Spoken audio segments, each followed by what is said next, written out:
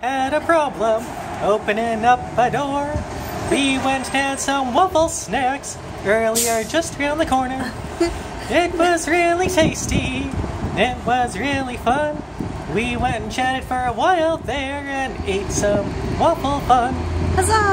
Oh, later all. Bye.